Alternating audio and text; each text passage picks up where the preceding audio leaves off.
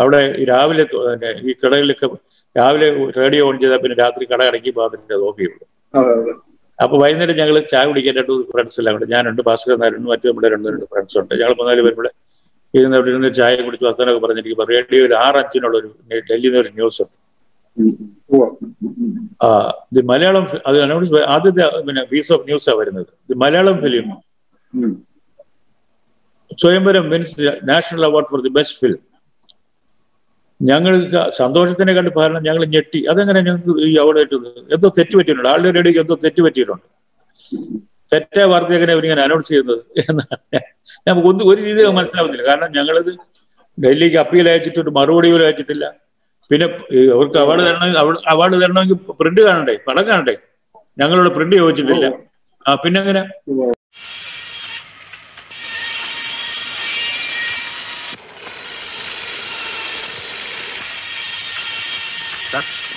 ഒരു കാര്യം. പന്ത്രണ്ട് കൊല്ലം ഞാൻ ഇതിനകത്ത് ജോലി ചെയ്തവനാ സാർ. നമസ്കാരം. കാലത്തിനതീതമാവണം ഓരോ ചലച്ചിത്രവും എന്ന് വിശ്വസിക്കുന്ന വിഖ്യാത ചലച്ചിത്രകാരന്റെ ആദ്യത്തെ മുഴുനീള ചലച്ചിത്രമായ സ്വയംവരം റിലീസായതിന്റെ അമ്പതാം വാർഷികത്തിലേക്ക് കടക്കുമ്പോൾ മലയാള സിനിമയിൽ പിന്നീട് പിന്തുടരുന്ന പല സാങ്കേതികതകളും ആദ്യമായി സംഭവിക്കുന്നത് സ്വയംവരത്തിലാണ് എന്നത് ശ്രദ്ധേയമാണ്. ഉദാഹരണത്തിന് ബാക്ക്ഗ്രൗണ്ട് സ്കോറും ഡയലോഗ്സും അല്ലാത്ത ശബ്ദങ്ങൾ കൊണ്ട് മലയാളി പ്രേക്ഷകരെ ആദ്യമായി വിസ്മയിപ്പിച്ചത് സ്വയംവരമാണ്. ഈ അവസരത്തിൽ സ്വയംവരത്തെ കേന്ദ്രീകരിച്ച് ദേശീയ അവാർഡ് ജേതാവും സിനിമാ നിരൂപകനും ഗ്രന്ഥകർത്താവുമായ ശ്രീ ഐ ഷൺമുഖദാസ് മാഷ് സംവിധായകൻ ശ്രീ അടൂർ ഗോപാലകൃഷ്ണൻ സാറുമായി സംസാരിക്കുന്നു. നമുക്ക് കേൾക്കാം. മലയാള സിനിമയെ ലോക സിനിമയുടെ ഭൂപടത്തിൽ അടയാളപ്പെടുത്തിയ മലയാളി സംവിധായകരിൽ പ്രമുഖനായിട്ടുള്ള ശ്രീ അടു ഗോപാലകൃഷ്ണൻ അദ്ദേഹത്തിന് ഈ വർഷം എൺപത് വയസ്സായി. അദ്ദേഹം ആയിരത്തി തൊള്ളായിരത്തി എഴുപത്തിരണ്ടിൽ എടുത്ത സംവിധാനം ചെയ്ത ചിത്രലേഖ ഫിലിം സൊസൈറ്റി ആഭിമുഖ്യത്തിൽ നിർമ്മിച്ച ഒരു കൂട്ടായ്മയുടെ ഭാഗമായിട്ട് നിർമ്മിച്ച അദ്ദേഹത്തിന് ആദ്യ ചിത്രമായുള്ള സ്വയംവരം പത്തൊമ്പത് എഴുപത്തിരണ്ടിൽ ഇറങ്ങിയ സ്വയംവരം ആ ചിത്രത്തിന് ഈ വരുന്ന വർഷം ഇരുപത് ഇരുപത്തിരണ്ടിൽ അമ്പത് വയസ്സ് തികയാണ്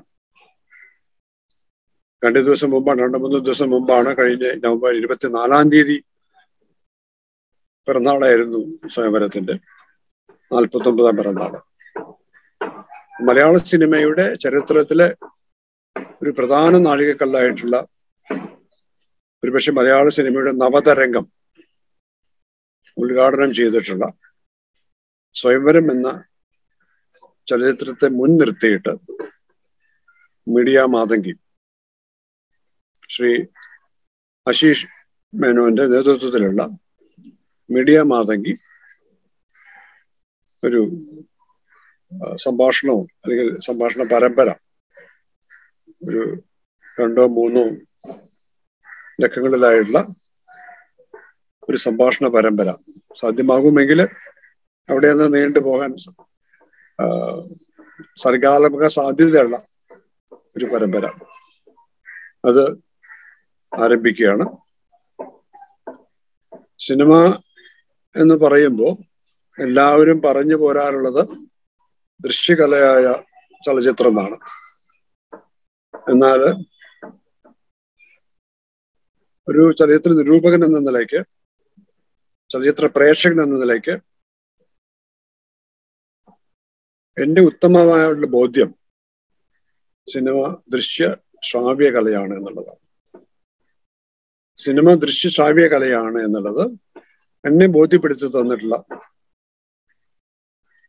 സിനിമകൾ സംവിധാനം ചെയ്തിട്ടുള്ള ആളാണ് അടൂർ ഗോപാലകൃഷ്ണൻ. ഇതിനു മുമ്പ് അമ്പത്തി അഞ്ചിൽ നീലക്കോയിൽ ഇറങ്ങിയ അതേ വർഷം തന്നെ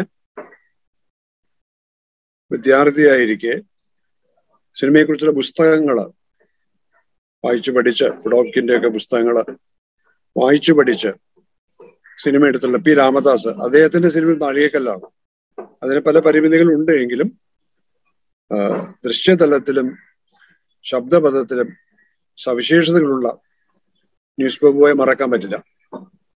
പക്ഷെ ഒരു പൂർണതയുള്ള ചലച്ചിത്ര ഭാഷ പൂർണമായിട്ടും എന്നതിന് പറയാവുന്ന രീതിയിൽ സിനിമ മലയാളിക്ക് മലയാളിയുടെ മുമ്പിൽ കൊണ്ടുവന്നിട്ടുള്ളത് സ്വയവരം എന്നുള്ള സിനിമയിലൂടെ അടൂർ ഗോപാലകൃഷ്ണനാണ് എഴുപതുകളുടെ സങ്കീർണമായ അസ്വസ്ഥമായ യൗവനത്തിന്റെ മധ്യവർഗ ജീവിതത്തിന്റെ തൊഴിലില്ലായ്മയുടെ അവരുടെ ദാരിദ്ര്യത്തിന്റെ ചിത്രം പ്രണയത്തിന്റെ പ്രണയത്തിൽ നിന്ന് ദാമ്പത്യത്തിലേക്ക് സ്വപ്നം യാഥാർത്ഥ്യത്തിലേക്ക് മാറുമ്പോഴുള്ള സങ്കീർണതകൾ വളരെ സർഗാത്മകമായി ചിത്രീകരിച്ച സ്വയംവരം എന്ന ചിത്രത്തിന്റെ അമ്പതാം പിറന്നാൾ ആഘോഷത്തിൽ മീഡിയ മാതങ്കിയും ഈ സംഭാഷണ പരമ്പരയിലൂടെ പങ്കുചേരുകയാണ്. എല്ലാവർക്കും സ്വാഗതം. നവംബർ ഇരുപത്തിനാല് പത്തൊമ്പത് എഴുപത്തിരണ്ടിൽ പുറത്തിറങ്ങിയ ചിത്രമാണ് സ്വയംവരം. അതുകൊണ്ടാണ് ഇന്നലെ നമ്മൾ ഈ അമ്പതാം വർഷത്തിൽ കടക്കത്തിന്റെ ആമുഖമായിട്ട് തുടങ്ങി വെച്ചത്. ഇന്നലെ നാൽപ്പത്തൊമ്പതാം പിറന്നാളായിരുന്നു എന്നാണ് എന്റെ അനുമാനം. ഞാനത് ഇന്നലെ അദ്ദേഹത്തോട് വിളിച്ച് സംസാരിച്ചത് ശരിയാണ് എന്ന് ഉറപ്പിച്ചിട്ടാണ് ഇങ്ങനെ തുടങ്ങിയത്. ആദ്യത്തെ ഒരു ചോദ്യം എന്ന നിലയ്ക്ക്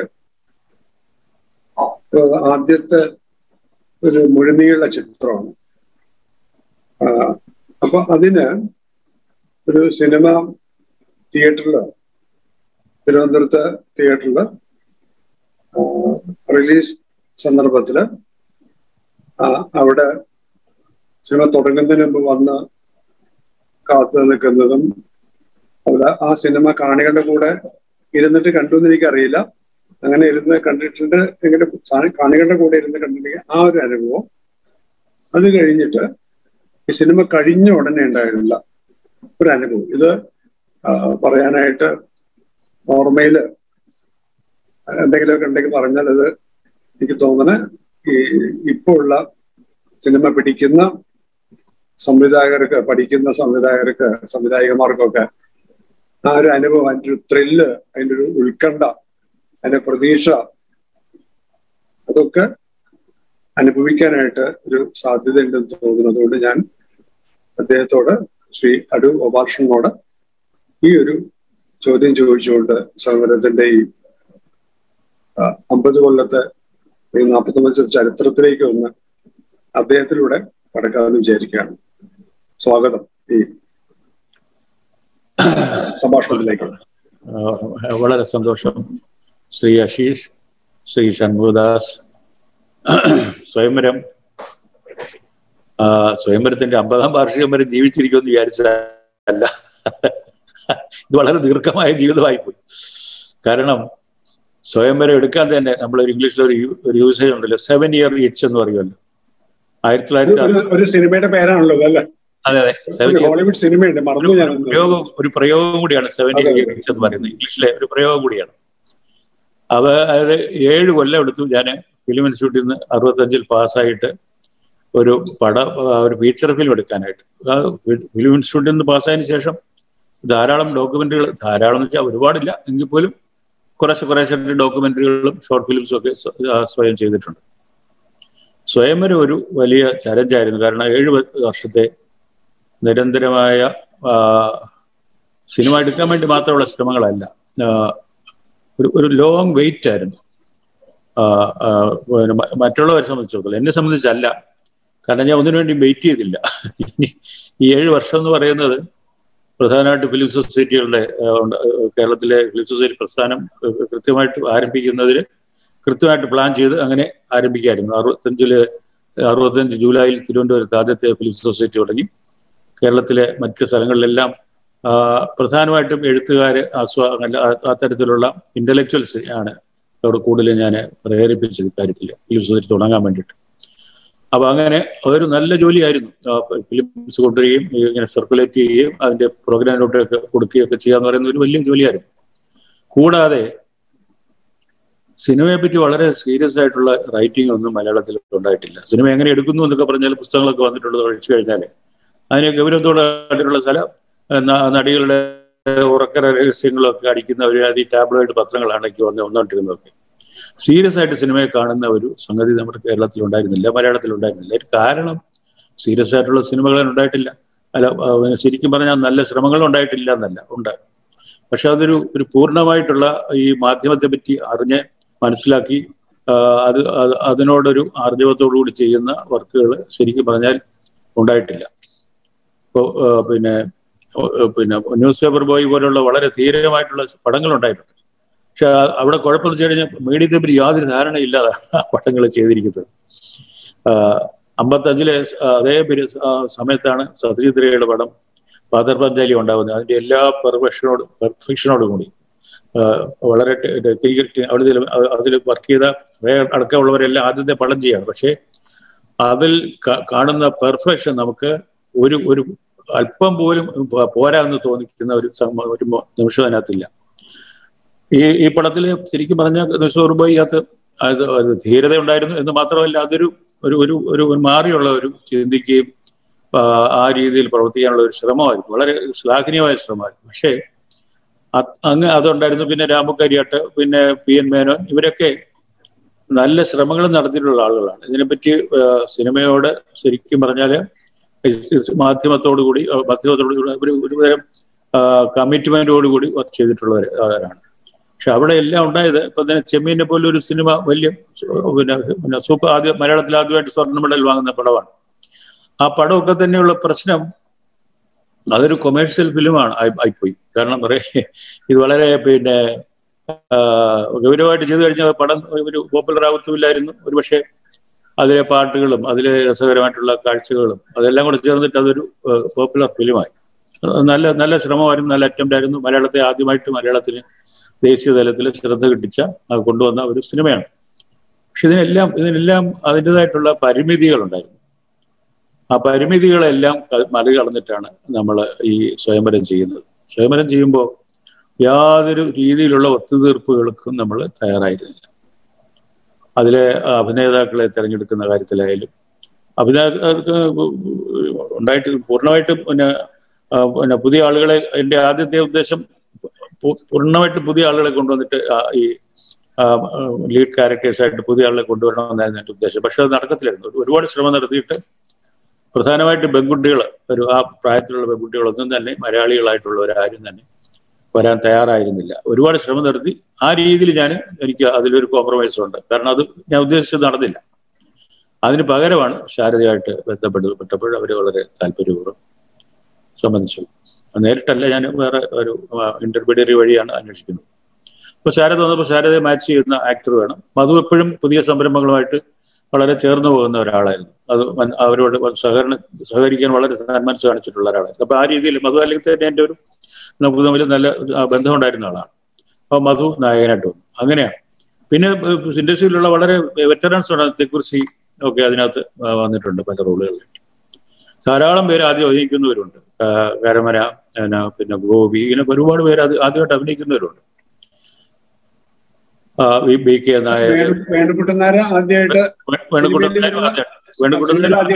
ഒരുപാട് പേരുണ്ട്. ഒരുപാട് പേരുണ്ട്. വേണുകുട്ടൻ നായര് പേര് പറയാത്ത ഒരുപാട് പേരുണ്ട്. പെട്ടെന്ന് വരാത്ത. വെമ്പായൻ വെമ്പായം തമ്പി ഇങ്ങനെ തുടങ്ങിയിട്ട് ഒരുപാട് ആളുകൾ ഈ പടത്തിൽ ആദ്യം വരുന്നത്. കരമന പ്രധാനപ്പെട്ട റോളിൽ ആദ്യം വരുന്നത് അപ്പൊ ആദ്യം അഭിനയിക്കുന്നത് ഈ പടത്തിലാണ്. അതെ നേരത്തെ ചില നാടകത്തിൽ അദ്ദേഹത്തെ സംവിധാനം ചെയ്തിരുന്ന അദ്ദേഹത്തിന്റെ അതെ. പുസ്തകത്തിൽ അദ്ദേഹം പറയുന്നുണ്ട്. ഇത് രണ്ട് നാടകത്തിലോ? അതെ. അതുപോലെ ഒരു സിനിമ. പക്ഷെ അത് ഇറങ്ങിയില്ല ഓണം അല്ലെ? ഷോർട്ട് ഫിലിം അദ്ദേഹത്തിന് നായകനാക്കിയിട്ട് നായകൻ വെച്ചാൽ ഒരു അത് അന്ന് ആയിരത്തി തൊള്ളായിരത്തി അറുപത്തൊമ്പതിലാണെന്ന് എന്റെ ഓർമ്മ. കാമുകിയാണോ അത്? ആയിരത്തി തൊള്ളായിരത്തി അറുപത്തി ഒമ്പതിൽ അത് ഞാൻ പാസ്സായി വന്നിട്ട് ആദ്യം ചെയ്യുന്ന പടമാണ് അമ്പത് സെക്കൻഡ് ഉള്ള ഒരു അത് പിന്നെ ഇവിടെ കാനഡയിലെ ഒരു എക്സ്പോ സിക്സ്റ്റി നയൻ എന്ന എന്റെ ഓർമ്മ. അതോ സെവന്റി വൺ ആണോ?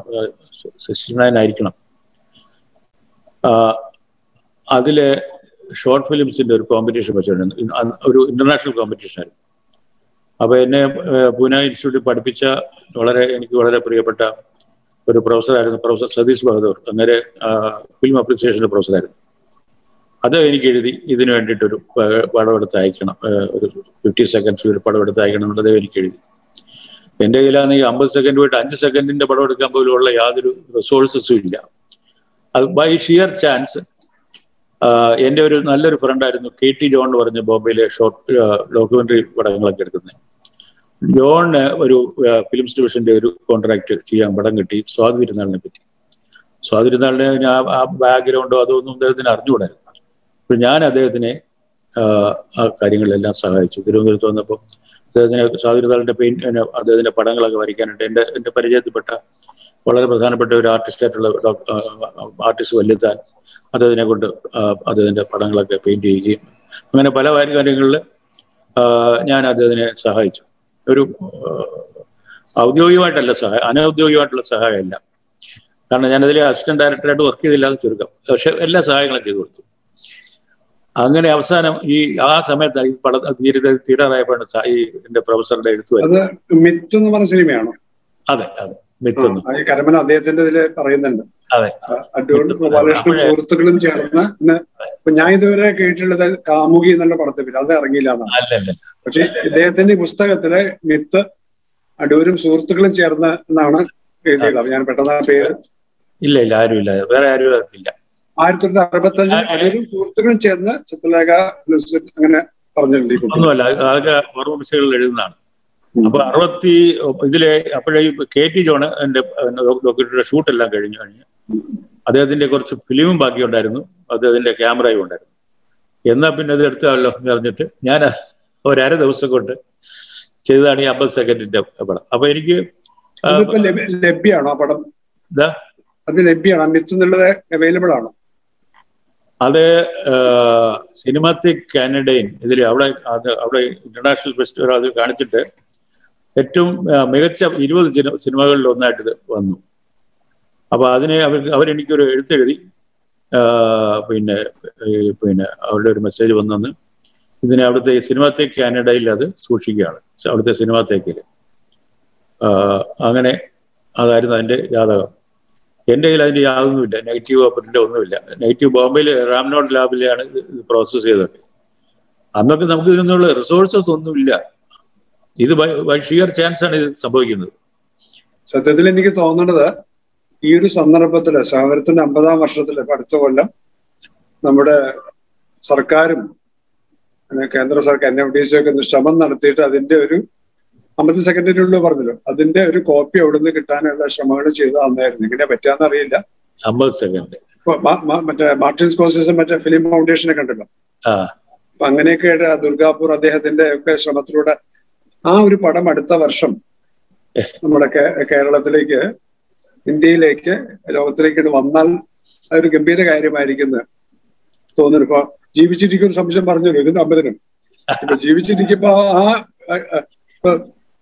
വേറെ ആൾക്കാർ ശ്രമിക്കുന്നതിനേക്കാൾ നമ്മളൊക്കെ കൂടെ നിൽക്കാനായിട്ട് ഒരു ശ്രമം നടത്തിയാൽ അതൊരു ഗംഭീര കാര്യമായിരിക്കും തോന്നുന്നു.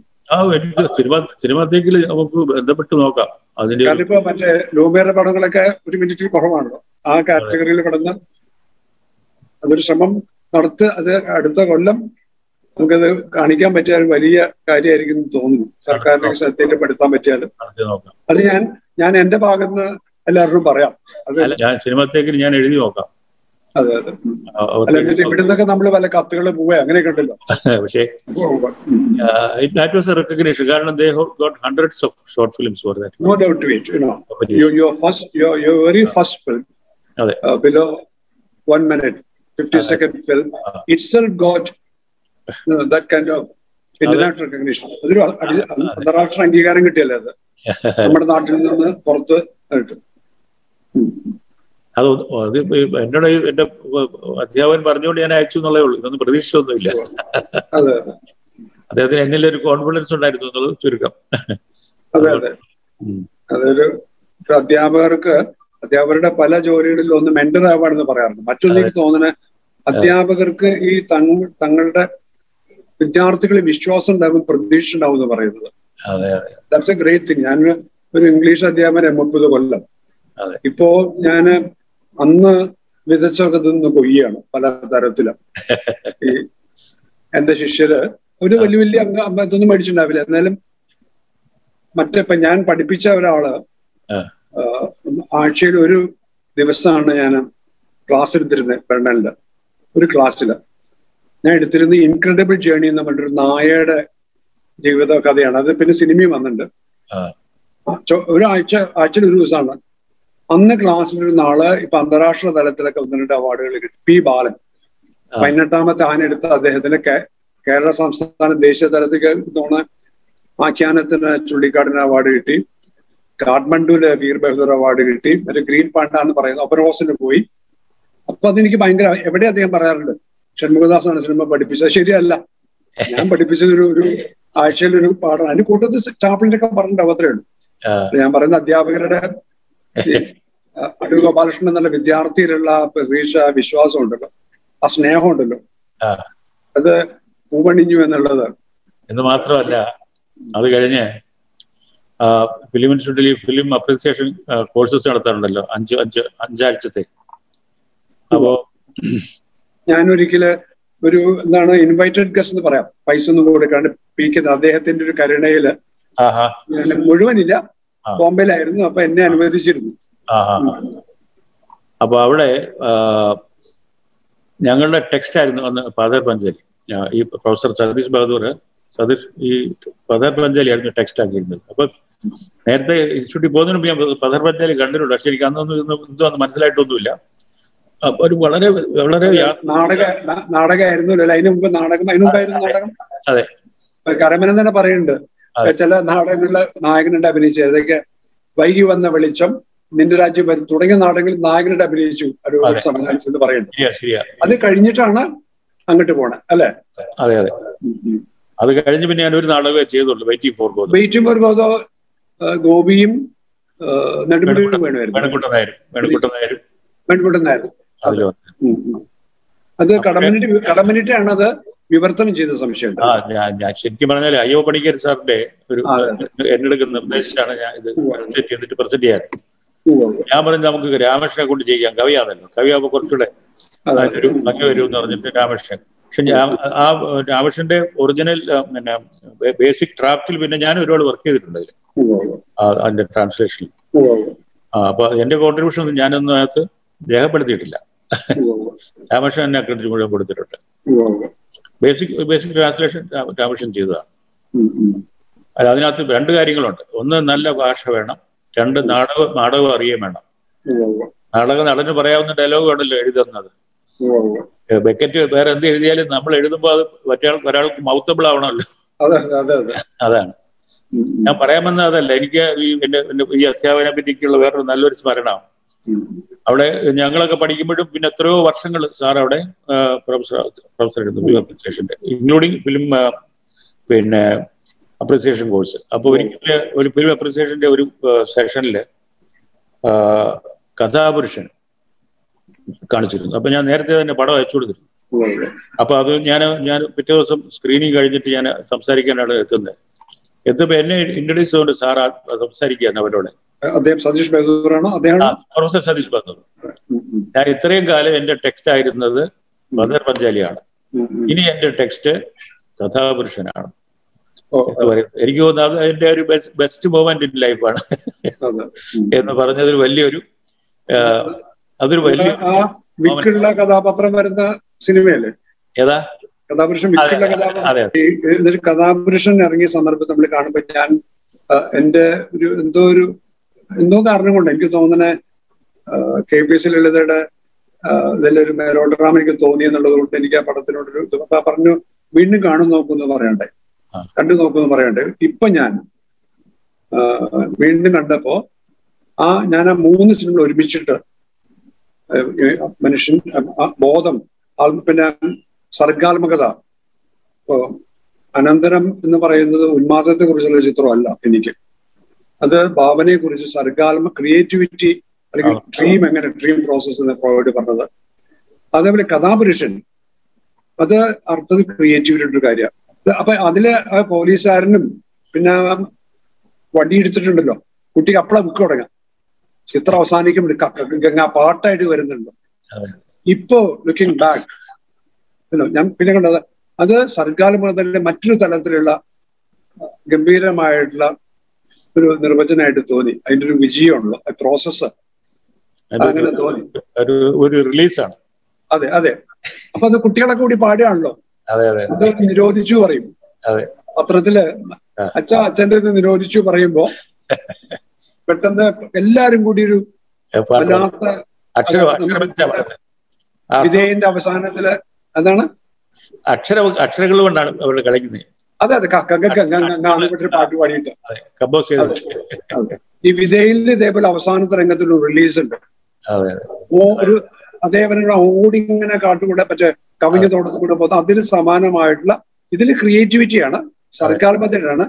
മറ്റതിൽ സ്വതന്ത്രനാവുന്ന അടിമ അടിമ ഒരർത്ഥത്തിൽ അടിമയാകുന്നതിൽ ആനന്ദം എന്ന് വേണമെങ്കിൽ പറയാവുന്ന തരത്തിൽ അതെ. അതിൽ നിന്ന് അങ്ങ് ഒരു സ്വാതന്ത്ര്യത്തിലേക്ക് പോകുന്നുണ്ട്. എനിക്ക് ഇഷ്ടപ്പെട്ട ഒരു പാടാണ് ഈ അദ്ദേഹം പറഞ്ഞത് കഥാപുരുഷനെ പറ്റി അധ്യാപകൻ അപ്രീഷിയേഷൻ കോഴ്സിൽ പറഞ്ഞത്. പതയപാഞ്ചേരി അല്ല ഇപ്പൊ എന്റെ പാഠപുസ്തകം. കഥാപുരുഷനാണെന്ന് അദ്ദേഹം പറഞ്ഞത്. ഇനി മുതൽ ഈ പടമാണ് എന്റെ ടെക്സ്റ്റ് എന്ന് പറഞ്ഞു അതെ അതെ. പഠിപ്പിക്കാൻ പോകുന്നത്. അതൊരു എനിക്ക് എനിക്ക് ഒരു പക്ഷേ ജീവിതത്തിൽ കിട്ടിയ ഏറ്റവും വലിയ ട്രിബ്യൂട്ടാണ് അതെ. അത്രയും വലിയ നോളജ് നോളജുള്ള അത്രയും അറിവുള്ള പ്രൊഫസർ സാറ് അങ്ങനെ പറഞ്ഞു എനിക്ക് അതൊരു ഗംഭീരമാണ് ഇനി ഞാൻ അടുത്ത കാലത്ത് എന്റെ ഒരു വിദ്യാർത്ഥി എനിക്കൊരു കവിത അയച്ചു തന്നു.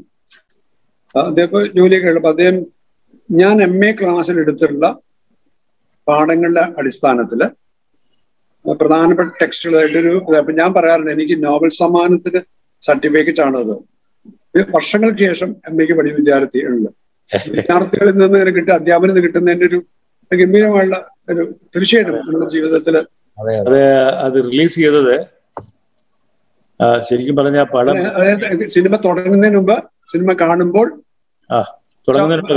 റിലീസിന്റെ അന്ന് പോയി കണ്ടിരുന്നു.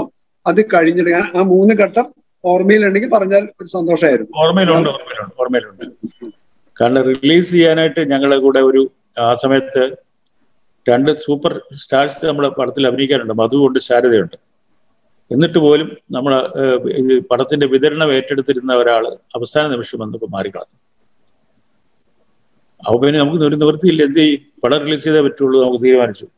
അപ്പൊ കുറെ പുതിയ ആളുകളെ പിന്നെ നമ്മൾ പത്രത്തിൽ പരസ്യം കൊടുത്ത് ഇൻവൈറ്റ് ചെയ്ത് റെപ്രസെന്റേറ്റീവ് വെച്ച് ആ, ഓരോരുത്തരും സ്ഥലത്ത് ഓരോ തിയേറ്ററിലേക്ക് നിർദ്ദേശിച്ച് നമ്മൾ തന്നെ നേരിട്ട് വിതരണം ചെയ്യാനായിട്ട് തീരുമാനിച്ചു. അപ്പോൾ ഈ രംഗത്ത് കുറച്ച് പരിചയമുള്ള ഒരാളിനെ ഇതിന്റെ മാനേജരായിട്ടും വെച്ചു.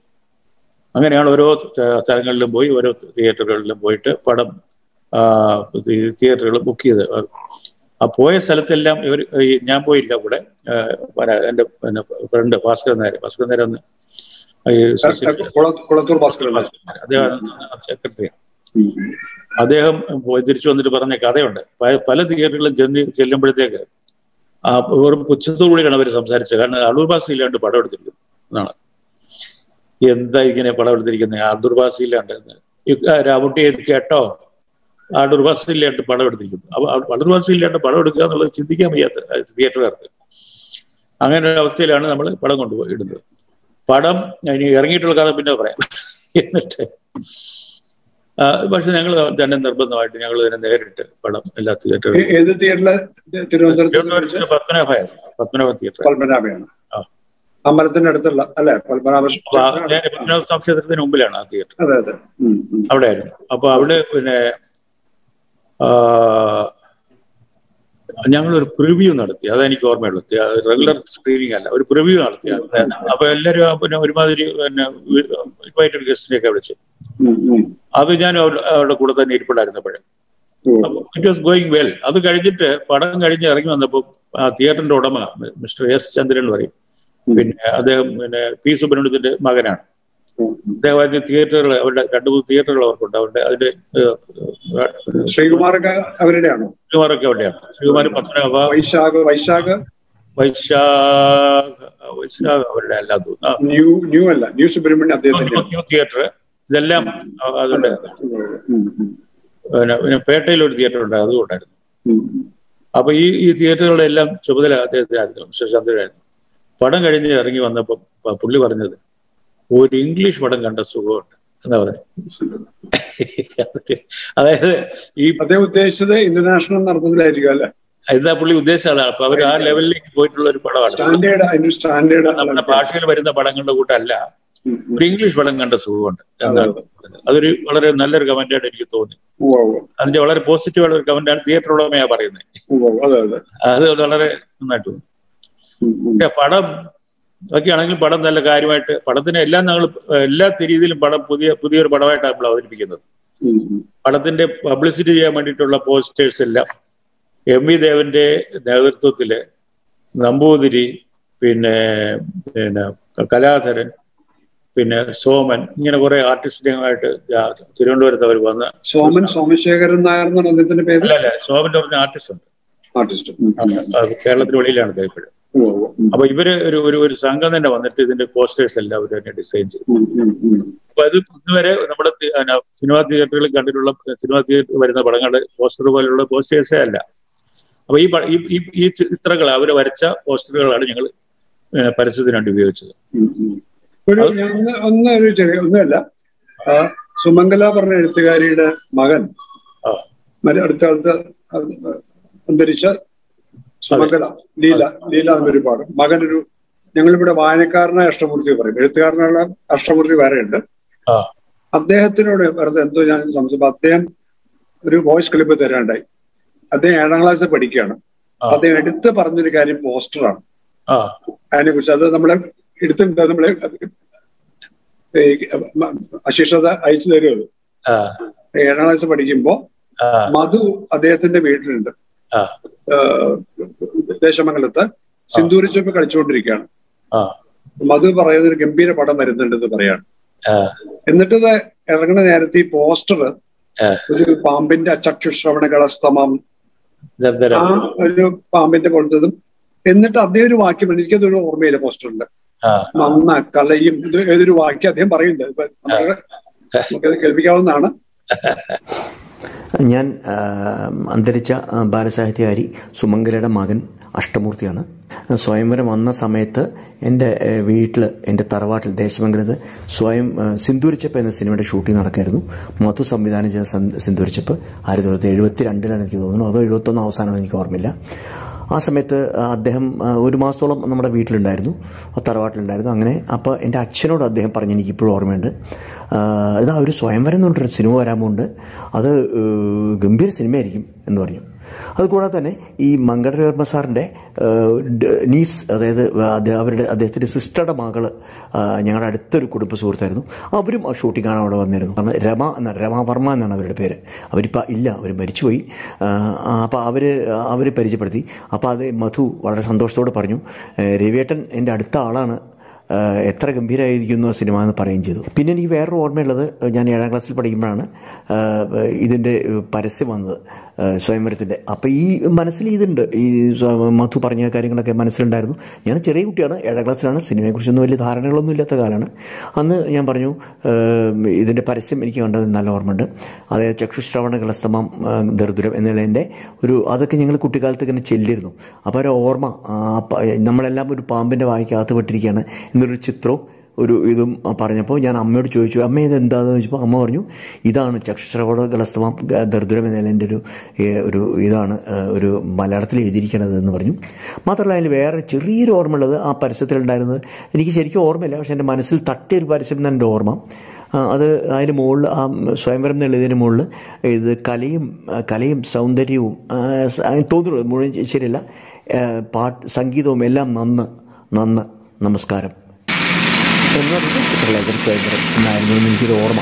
അത് എന്റെ മനസ്സിൽ ഒരു ഓർമ്മ പോലെയുള്ളൂ അത് എന്റെ ഭാവനയിൽ വന്നോ എനിക്ക് ഉറപ്പില്ല. പക്ഷെ എന്തോ അന്ന് തന്നെ അത് മനസ്സിൽ തട്ടി വരി എനിക്ക് ഇതാണ് എനിക്ക് ആ പോസ്റ്റർ ഏഴാം ക്ലാസ്സിലുള്ള അഷ്ടമൂർത്തി പഠിച്ചിരുന്ന അഷ്ടമൂർത്തി ആ പോസ്റ്റർ ഇപ്പോഴും മനസ്സിൽ ഉണ്ടെന്ന് പറയാണ്. അതെ. പിന്നെ അത് ആ പടത്തിലുണ്ടായ വേറൊരു അനുഗ്രഹം ആദ്യമായിട്ട് പിന്നെ ഒരു ലിറ്റററി ലിറ്റററി പബ്ലിക്കേഷൻ എന്നുള്ള നിലയിൽ ഏറ്റവും ഹയസ്റ്റ് എസ്റ്റീം ഉണ്ടായിരുന്ന ഒരു പബ്ലിക്കേഷൻ ആയിരുന്നു എം ഗോവിന്ദൻ നടത്തിയിരുന്ന സമീക്ഷ. എം ഗോവിന്ദ സമീക്ഷ അല്ലെ? സമീക്ഷയിൽ ആദ്യമായിട്ട് അതുവിന്റെ മുഖചിത്രം കൊടുത്തിട്ട് സ്വയംഭരത്തെ പറ്റി സ്വയംഭരത്തെ പറ്റി അദ്ദേഹം എഴുതി. എഴുതിയ എഴുതിയപ്പോൾ എന്താ പറഞ്ഞേ സമീക്ഷയിൽ എഴുതാനുള്ള യോഗ്യതയുള്ള ഒരു സിനിമ ആദ്യമായിട്ട് മലയാളത്തിൽ ഉണ്ടായിരിക്കുന്നു. ഓ അങ്ങനെയാണ് ആ വാക്യം എന്ന് പറഞ്ഞ ഒരു ആർട്ടിക്കിൾ തന്നെ അദ്ദേഹം എഴുതി. അതിലെ. അങ്ങനെയൊക്കെയുള്ള വളരെ പ്ലസന്റ് ആയിട്ടുള്ള ഒരുപാട് അനുഭവങ്ങൾ ഉണ്ടായിരുന്നു അതുപോലെ തന്നെ മദ്രാസിലെ റിലീസിന് മുമ്പാണ്. ഗോവിന്ദന്റെ ചുമതലയിൽ മദ്രാസിൽ വെച്ച് പടത്തിന്റെ ഒരു പ്രിവ്യൂ നടത്തി. അപ്പൊ തിയേറ്റർ ഏതാ തിയേറ്റർ എന്ന് ഓർമ്മയുണ്ടോ ആ പ്രിവ്യൂ നടത്തിയ തിയേറ്റർ ഓർമ്മയില്ല ഇപ്പൊ ഓർമ്മയില്ല. അത് കഴിഞ്ഞിട്ട് അദ്ദേഹം ഒരു ഒരു ഒരു ഒരു മീറ്റ് ആർട്ടിസ്റ്റ് എല്ലാം കൂടെ കാണാൻ വിളിച്ച ആളുകളെല്ലാം കൂടെ പ്രത്യേകിച്ച് റൈറ്റേഴ്സും ഗോവിന്ദന്റെ ഒരു. ഒരുപാട് ഒരുപാട് ഭാഷയിൽ നിന്നുള്ള. ഡോക്ടർ അനന്തമൂർത്തിയൊക്കെ അതിലുണ്ടായിരുന്ന ആളാണ്. അപ്പം കടമ്പനിട്ടേക്ക് അന്ന് മദ്രാസ് ജോലി ചെയ്യാണ്. ആ പി എൻ ടിയിൽ അപ്പൊ അവരൊക്കെ ഉണ്ട്. പിന്നെ അങ്ങനെ ഒരുപാട് പേര്. പിന്നെ സമീക്ഷ പിന്നെ അന്വേഷണം നടത്തിയ ഉണ്ണികൃഷ്ണൻ കുഞ്ഞികൃഷ്ണൻ. ഇവരെല്ലാം ഉണ്ടായിരുന്നത്. അങ്ങനെ അന്നൊരു അറിയപ്പെടുന്ന മദ്രാസിൽ അറിയപ്പെടുന്ന എല്ലാ ഇന്റലക്ച്വൽസും വന്ന പടം കാണാനുണ്ടായിരുന്നു. അത് കഴിഞ്ഞിട്ടുള്ള ഡിസ്കഷൻ ഉണ്ടായിരുന്നു മങ്ക- മങ്കടവർമ്മയും വന്ന് മദ്രാസിൽ തന്നെ അല്ലേ? അതെ അദ്ദേഹം. രവിവർമ്മ മദ്രാസിൽ തന്നെ താമസിക്കും താമസിച്ചത് അതെ അതെ. അങ്ങനെ ഒരിക്കലും ഈ മ- മദ്രാശി വെച്ച് ഇന്റർവ്യൂ ചെയ്യണ്ടേ. അതുകൊണ്ട് പെട്ടെന്ന്. ആ അദ്ദേഹം മദ്രാസിലായിരുന്നു. ജീവിതകാലം മുഴുവൻ മദ്രാസിലായിരുന്നു. അപ്പോ അതുപോലെ ഇതിന്റെ വേറൊരു ഒരു പിന്നെ റഫ് കട്ട് ഇതാവുന്നതിന് മുമ്പാണ്. ഒരു റഫ് കട്ട് നടത്തിയപ്പോൾ എൻ എഫ് ഡി സിയുടെ നമ്മൾ ഫരിം ഫിനാൻസ് കോർപ്പറേഷൻ ആണെന്നുള്ളത്. കോർപ്പറേഷൻ ഞങ്ങൾ ഒരു ലോൺ വാങ്ങിച്ചിരുന്നു. അതിന്റെ മൊത്തം പണത്തിന്റെ മൊത്തം ബഡ്ജറ്റ് രണ്ടര ലക്ഷം രൂപയായിരുന്നു. അത് ലോണായിട്ട് അവർ ഒന്നര ലക്ഷം തന്നു. തന്നിട്ട് ബാക്കി ഒരു ലക്ഷം ഞാൻ ഡോക്യുമെന്റ് അതൊക്കെ എടുത്തിട്ട് അങ്ങനെ റേസ് ചെയ്ത പണം കൊണ്ട് അതുകൊണ്ട് പടം എടുത്തത്. അപ്പൊ അതിന്റെ റഫ് കട്ട് ആ കാലഘട്ടത്തിൽ വലിയ ആ ഒരു ലക്ഷം എന്ന് പറയുന്നത് എഴുപത് എഴുപത്തിരണ്ട് ഒരു ഭീകര സംഖ്യ ആയിരിക്കല്ലേ ഇന്നത്തെ എനിക്കറിയില്ല. അതെ ഞങ്ങളെ ഫാമിലി പ്ലാനിംഗ് ഡിപ്പാർട്ട്മെന്റിന് വേണ്ടിയിട്ടൊരു ഒരു- ഒരു സെമി ഡോക്യു ഡ്രാമ. സാധനം എടുത്തിരുന്നു. എന്താ പേര്? പ്രതിസന്ധി എന്ന് പറഞ്ഞു. പ്രതിസന്ധി. പ്രതിസന്ധി. ആ. അപ്പൊ അതിനകത്ത് പിന്നെ ആ പടമൊക്കെ ഇപ്പൊ ലഭ്യമാണ് എവിടെന്നെങ്കിലും?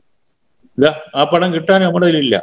നമ്മുടെ ഉം. അത് ആ ഡിപ്പാർട്ട്മെന്റ് എടുത്ത് നമ്മൾ അതെല്ലാം കൊടുക്കും അപ്പൊ അവർക്ക് ആ ഫിലിം എടുക്കുന്നതിന്റെ കോസ്റ്റ് പിന്നെ അതിന്റെ പ്രിന്റുകൾ എടുക്കുന്നത് എല്ലാം കൂടെ ചേർത്ത് ഞങ്ങൾ കുറച്ച് നമ്മളെയൊക്കെ പേയ്മെന്റ് ഇതൊക്കെ കട്ട് ചെയ്യുവേ ഇതൊക്കെ ഇതൊക്കെ. സ്വന്തം സ്വന്തമായിട്ട് പൈസ ഒന്നും എടുക്കുകയല്ല വളരെ നോമിനൽ ആയിട്ടുള്ള ഒരു പേയ്മെന്റ് എടുക്കും ബാക്കിയൊക്കെ ഇതിലേക്കുള്ള സഞ്ചിതമാക്കി വെക്കുകയാണ്. അപ്പൊ അത് അത് അങ്ങനെ ഞങ്ങൾ ഒരു ഒരു ലക്ഷം രൂപ റേസ് ചെയ്യും ആ പടം എടുത്തോണ്ടല്ലേ. ആ, അങ്ങനെ ആ പടം രണ്ടര ലക്ഷം രൂപ ആയിരുന്നു എന്റെ ബഡ്ജറ്റ്. ഒന്നര ലക്ഷം ലോൺ വന്നു. അപ്പൊ അതുകൊണ്ട് അന്ന് എൻ എഫ് സി ഡി സിയുടെ ഡയറക്ടർ ബോർഡ് മദ്രാസ് വെച്ച് കൂടുന്നുണ്ടായിരുന്നു അപ്പൊ അവരെ ഞങ്ങൾ ഈ പടം എന്റെ റഫ് കട്ട് കാണിച്ചു. ഡോക്ടർ നാരായണ മേനോൻ ഉണ്ടായിരുന്നു. ഡോക്ടർ വി കെ നാരായണമേനോൻ അതെ അതെ. ഉണ്ട്. അദ്ദേഹത്തെ എൻ എഫ് ഡി സിയിൽ വെച്ച് കണ്ടു. കാരണം തൃ- മുളന്താവാണ് അദ്ദേഹത്തിന്റെ അതെ അതെ അതെ അതെ സംഗീതത്തിന്റെ വലിയ ആളായിരുന്നു. അതെ അതെ വലിയ ആ, N- C N P S C എന്ന ഒരു സ്ഥലമില്ല? മറൈൻ ഡ്രൈവിൽ. അതെ അതെ. നാടകം കളിക്കുന്ന national N C P A. അതെ അതെ. അദ്ദേഹത്തിന്റെ പി എ ഒരു സുഭാഷ് ചന്ദ്രൻ സുഭാഷ് ചന്ദ്രൻ പി എ. അദ്ദേഹം അദ്ദേഹം മുളത്തുകാരനാണ് തൃശ്ശൂർ മുളത്തുകാരൻ അതെ. അതെ. അപ്പൊ അത് അവിടെ അത് എം ഡി എന്ന് ബോർഡിലുണ്ട് ഫിനാൻസ് കോർപ്പറേഷന്റെ ബോർഡിലുണ്ട്. പിന്നെ അദ്ദേഹം ഉണ്ട് പിന്നെ ആഷാഡ്ക ഏകദിൻ എഴുതിയ പ്ലേ. അദ്ദേഹം ഉണ്ടായിരുന്നു അദ്ദേഹം ഉണ്ടായിരുന്നു ഇതിൽ. ഉവ്വ്. സിനിമയൊക്കെ സിനിമയാക്കിയല്ലോ. ജോൺ അബ്രാം മണിക്കോളത്ത് ജോൺ അബ്രാം അതിൽ അഭിനയിക്കുന്നുണ്ട്. പ്രത്യക്ഷപ്പെടുന്നുണ്ട്. അധികം സമയമില്ല ഉണ്ട് അതെ. അപ്പൊ അത് അവരെല്ലാം ഉണ്ടായിരുന്നു ചേർന്നാണ് ഈ പടം കണ്ടത്. റഫ് കട്ടാണ്. അത് ഫിനിഷ് ചെയ്ത പക്ഷെ അവർക്ക് വലിയ വളരെ ഗംഭീരമായിട്ട് ഇഷ്ടപ്പെട്ടു. ആ ഒരു ഫോമിൽ തന്നെ വലിയ കാര്യമായിട്ട് ഇഷ്ടപ്പെട്ടു. അപ്പൊ ആ സ്ക്രീനിങ്ങിൽ ഞാൻ എം പി ശ്രീനിവാസനെ ക്ഷണിച്ചു എനിക്ക് അദ്ദേഹത്തിനെ കൊണ്ട് എം പി ശ്രീനിവാസൻ. അദ്ദേഹത്തിനെ കൊണ്ട് മീറ്റ് ചെയ്യാനാണ് ഞാൻ ഉദ്ദേശിച്ചത്. അപ്പൊ അദ്ദേഹത്തിനെ കൊണ്ട് സ്ക്രീൻ അടക്കപ്പെട്ടു. അപ്പൊ ശ്രീനിവാസനൊക്കെ വളരെ എക്സൈറ്റഡ് ആയിരുന്നു. ഇത് കഴിഞ്ഞു. ആ അപ്പൊ അങ്ങനെയാണ് അതിന്റെ അതിന്റെ മുൻ മുൻഭാ- മുൻഭാഗം അതിന്റെ. ആ പടം തിയേറ്റർ റിലീസ് കഴിഞ്ഞപ്പോഴത്തേക്ക് പല തിയേറ്ററുകളിൽ നിന്ന് മാനേജന്മാരെയും വിളിച്ചു ചോദിച്ചു. ഒരു അഞ്ചാറ് പാട്ടും കൂടി ഇട്ടാ എങ്ങനെ ഓടേണ്ട പടമായിരുന്നത് മാനേജർമാരെ വിളിക്കുക എങ്ങനെ ഓടേണ്ട പടമായിരുന്നു? അഞ്ചാറ് പാട്ടുകളുള്ള കളഞ്ഞു വിളിച്ചല്ലോ എന്നാ പറഞ്ഞു അങ്ങനെ പടം ഏതാണ്ട് മിക്ക തിയേറ്ററുകളിലും ഒരു ഒരാഴ്ച കഴിഞ്ഞപ്പോൾ നിർത്തി. അപൂർവം തിയേറ്ററുകൾ രണ്ടാമത്തെ ആഴ്ച വരെ പോയി. അപ്പം ഇത് ഇത് ഞങ്ങളുടെ സംരംഭം ഫ്ലോപ്പായി പോയി എന്ന് പറഞ്ഞിട്ട് എല്ലാരും കൂടെ ചരമ കുറിപ്പുകളൊക്കെ എഴുതി തുടങ്ങി. ഏ? ഈ പ്രസ്ഥാനത്തിന് തന്നെ. അങ്ങനെ ഇരിക്കുമ്പോൾ നമ്മൾ അങ്ങ് മറന്നിരിക്കുന്ന ഒരു സമയത്താണ് നാഷണൽ അവാർഡ് വരുന്നത്. അതിന് പിന്നിൽ ഒരുപാട് കഥയുണ്ട്. അതേ അതേ സന്ദർഭത്തിൽ നമ്മുടെ സംസ്ഥാനത്തിൽ രണ്ടാമത്തെ കഴിഞ്ഞ് സംഭവത്തിനാണോ ഒന്നാം സമ്മാനം ആർക്ക് കൊടുത്ത്? അല്ല സംസ്ഥാന അവാർഡ് ഒന്നാം സമരം സമ്മാനം ആർക്ക് കൊടുത്ത്? പണി തീരാത്ത വീടിന്. പണി തീരാത്ത വീടിന്. ആ പണിതിരത്ത് വീട്. ഇത് രണ്ടാമത്തെ സമ്മാനം കൊടുത്ത് അല്ലേ? അല്ല അതാണ് ബെസ്റ്റ് അവാർഡ് അതിനാ കൊടുത്തത് നമ്മളെ നമ്മുടെ പടത്തിന് ഒരു സമ്മാനം ഇവിടെ പണി പണിതിരാത്ത വീടിന്റെ ഒന്നാം സമ്മാനം രണ്ടാം സമ്മാനം അതാണ് ഒരു അവാർഡും ഇല്ല ഒരു അവാർഡും ഇല്ല. ഒരു അവാർഡും ഇല്ല സമരത്തിന് അവർ വളരെ അവർ നിർബന്ധമായിട്ട് അന്നത്തെ ജൂറിയിലിരുന്ന ആളുകൾ ഒരുപാട് താല്പര്യം ഉള്ള ആളുകളായിരുന്നു. പല മറ്റു താല്പര്യമുള്ള ആളുകളായിരുന്നു. കൃത്യമായിട്ട് ഇതിന് ഒരു കാരണവശാലും ഒരു അവാർഡ് കൊടുക്കരുന്ന് അവർ തീരുമാനിച്ചു. പി കെ നായർ ഇതിനു വേണ്ടി വാദിച്ചു നായർ ചെയർമാൻ ആയിരുന്നു. പി കെ നായരെ അവരെ വാദിച്ചത് ഒറ്റ പുള്ളി അതുപോലെ ഒറ്റപ്പെടുത്തി മറ്റുള്ളവരെ. കംപ്ലീറ്റ് മറ്റുള്ള നായരൊഴിച്ച് ബാക്കി എല്ലാവരും കൂടെ ഒറ്റ കെട്ടായിട്ട് നിന്ന് നായരുടെ വായടപ്പിച്ചു. പിന്നെ നായർ ഒരു ഉദ്യോഗസ്ഥനായത് കാരണം ഇവരോട് ഫൈറ്റ് ചെയ്യാനുള്ള ധൈര്യവും പുള്ളിക്ക് ഉണ്ടായിരുന്നില്ല. നല്ലൊരു ധൈര്യമുള്ള ഓഫീസറായിരുന്നെങ്കിൽ അപ്പോഴങ്ങ് റിസൈൻ ചെയ്തതിന് ചെയർമാനായിരുന്നു പുള്ളിക്ക് അതിനുള്ള ഗട്ട്സും ഇല്ലായിരുന്നു. അതുകൊണ്ട് അത് ചെയ്തില്ല. പക്ഷേ പുള്ളി അത് കഴിഞ്ഞ് അവാർഡ് അനൗൺസ്മെന്റ് എല്ലാം കഴിഞ്ഞതിന് ശേഷം കൊല്ലത്ത് വെച്ച് ദേവാനന്ദ് എന്ന് പറഞ്ഞ ഒരു ജേർണലിസ്റ്റ് വഴി വെച്ച് പുള്ളിയെ കിട്ടിയപ്പോൾ പിടിച്ച് ഇന്റർവ്യൂ ചെയ്തു. ഇന്റർവ്യൂ ചെയ്തപ്പോൾ പുള്ളി ഉള്ളതെല്ലാം എന്ന് തുറന്നു പറഞ്ഞു. അത് വളരെ പത്രത്തിൽ അടിച്ചു വന്നു. അങ്ങനെ അത് പിന്നെ ഒരു വലിയ ഇഷ്യൂ ഏത് ഏത് പത്രത്തിൽ അച്ചടിച്ചു വന്ന്? മലയാള രാജ്യം മലയാള രാജ്യം. മലയാള രാജ്യ പത്രത്തിലാണ്. ഒന്നല്ല ആർക്കെങ്കിലും തപ്പിയെടുക്കാൻ പറ്റുകയാണെങ്കിൽ അതെ. എന്താണ് അദ്ദേഹം പറഞ്ഞത് പത്രത്തിൽ അതെ. അത് തൃശ്ശൂര് അദ്ദേഹത്തിന് ഒരു അവാർഡ് കൊടുത്ത സ്ഥലം തൃശ്ശൂരാണ്. ഈ ഇവിടുത്തെ അന്താരാഷ്ട്ര മേള പി കെ നായർക്ക് ലൈഫ് ടൈം എച്ച് അവാർഡ് കൊടുക്കാണ്ടായി കൊടുത്തു? ഐ ഫിഫ്റ്റി എന്ന് പറയുന്നൊരു മേള. ആണോ? ചെറിയാൻ ജോസഫിന്റെ നേതൃത്വത്തിലുള്ള അവരാണോ അവരാണ് കൊടുത്തത്? ഐ എഫ് എഫ് കെ അല്ല. ഐ എഫ് ഫിഫ്റ്റി അതായത് ഇന്റർനാഷണൽ ഫിലിം ഇൻസ്റ്റിറ്റ്യൂട്ട് തൃശ്ശൂർ എന്ന് പറഞ്ഞിട്ട് രണ്ടായിരത്തി നാലിൽ തുടങ്ങി. ആ. ഇപ്പോഴും ഇപ്പോഴും ഉണ്ടാകും ആ. വന്നിട്ടുണ്ട് തോന്നുന്നു. അതിന് പങ്കെടുക്കാൻ വന്നിട്ടുണ്ട്. ഒരിക്കൽ വന്നിട്ടുണ്ട്. ഒരിക്കൽ വന്നിട്ടുണ്ട്. അവിടെ ഒന്നിലധികം ഫെസ്റ്റിവൽ ആയപ്പോ ഞാൻ പറഞ്ഞു നിങ്ങൾ രണ്ട് ഫെസ്റ്റിവൽ അത് എനിക്ക് ഓർമ്മയുണ്ട്. അത് എനിക്ക് ഓർമ്മയുണ്ട്. എന്നോട് ഞാൻ മേലെ വരുന്നില്ല എന്നവരോട് പറഞ്ഞു. പിന്നെ പോയിട്ടില്ല. അത് ശരിയാണ്. അപ്പൊ അവിടേക്ക് നമ്മളെ പരിചയമുണ്ട്. ഒരു ഫിലിം സൊസൈറ്റി നേരെ നടത്താത്ത സ്ഥലത്ത് ഫെസ്റ്റിവലുകൾ മത്സരിച്ച് നടത്തുക. അതൊരു ശരിയാണ് എനിക്ക് തോന്നുന്നു. പറയാനുണ്ട്. ഉവ്വ് ഉവ്വ്. അപ്പൊ ഈ അവാർഡിന്റെ ഈ നാഷണൽ അവാർഡ് കിട്ടിയത്? അപ്പോഴാ ഞങ്ങളെ ഞങ്ങളെ അടിച്ചങ്ങ് ഇരുത്തി. ഇങ്ങനെ ഒറ്റ അവാർഡിലെ തൊടിയിക്കാതെ ക്ലീൻ ആയിട്ട് നമ്മൾ ഔട്ട് അവിടെ നമ്മുടെ മറ്റേ മറ്റോടത്ത് ജോലി അവിടെ ഒന്നും തിരുന്നില്ല അവളോടും തിരുന്നില്ല ഈ കഥ പറഞ്ഞാൽ ഒത്തിരി പറയേണ്ടി വരും. അതാണ്. അവളും തീരുന്നില്ല പിന്നീട് നാഷണൽ അവാർഡിന് റീജിയണൽ കമ്മിറ്റീസ് ആണ് റെക്കമെൻഡ് ചെയ്യുന്നത്. ഈ കേരള ഗവൺമെന്റ് ഉണ്ടാക്കിയ കമ്മിറ്റിയിലെ രണ്ട് അംഗങ്ങൾ. എങ്ങനെയാന്ന് നമുക്ക് അറിഞ്ഞൂടാ അവർ ആ പിന്നെ റീജിയണൽ കമ്മിറ്റിയിൽ ഈ രണ്ടുപേരും കയറി. കയറിയിട്ട് though so to it that this was not send to Delhi അയച്ചില്ല നമ്മളൊരു പത്രവാർത്തയിൽ കാണുമ്പോൾ അവർ അയച്ച മദ്രാസിൽ ഡൽഹിയിലേക്ക് അയച്ച പടങ്ങളുടെ ലിസ്റ്റ് നമ്മുടെ പടമില്ല. അപ്പൊ മനസ്സിലായി ഏതോ ഒരു വലിയ കളിയാണല്ലോ നടന്നിരിക്കുന്നത്. നമുക്ക് വേറെ ഒന്നും ചെയ്യാനില്ലാത്തതുകൊണ്ട് ഡൽഹി ഡൽഹിയിൽ മിനിസ്റ്റർ മിനിസ്റ്റർക്ക് ഒരു ലോങ് ടെലിഗ്രാം അയച്ചു ഞങ്ങൾ ഇങ്ങനെ ഞങ്ങളിങ്ങനെ ഫിലിം ഇൻസ്റ്റിറ്റ്യൂട്ടിൽ പഠിച്ചു വന്ന കുറെ വിദ്യാർത്ഥികൾ ആണ് എടുത്ത ആദ്യത്തെ പടമാണ്. ഇവിടുത്തെ പിന്നെ ലോക്കലായിട്ടുള്ള പല പൊളിറ്റിക്സിന്റെ ഭാഗമായിട്ട് ഇവർ ഇതിനെ പിന്നെ ഡൽഹിയിലേക്ക് കടത്തി വിടാതിരിക്കുകയാണ് ഉം, ഉം, ഉം. ഡൽഹിയിൽ ഞങ്ങൾക്ക് ഒരു റിക്വസ്റ്റ് മാത്രമേ ഉള്ളൂ. ജൂറി നാഷണൽ ജൂറി ഞങ്ങളുടെ പടം ഒന്ന് കാണണം. എന്നും പറഞ്ഞ് എഴുതി യാതൊരു മറുപടിയും കിട്ടിയില്ല യാതൊരു മറുപടിയും കിട്ടിയില്ല. കുറച്ച് കഴിഞ്ഞ കുറച്ച് കാലമൊക്കെ നമ്മൾ പറ്റിയോ ആരും അറിഞ്ഞുകൂടാ ഡൽഹിയിൽ ആരെങ്കിലും വിളിച്ച് ചോദിച്ചിട്ട് അന്വേഷിക്കാനോ അങ്ങനെ ആരും അറിഞ്ഞുകൂടാ. നമ്മൾ gave up after after some time we gave up അങ്ങനെ ഇരിക്കുമ്പോഴാണ് ഒരു ദിവസം യാദൃശ്യമായിട്ട് ഞങ്ങളൊരു ഇതില്ല ചായകട വേണുഗോപാല നിലയമുള്ള ഒരു റെസ്റ്റോറന്റ് ഉണ്ടായിരുന്നു അവിടെ പിന്നെ പേരൂർക്കട. പേരൂർക്കടല്ല ഇത് യൂണിവേഴ്സിറ്റി സ്റ്റുഡന്റ് സെന്ററിന്റെ മുമ്പിലായിട്ട് വരുക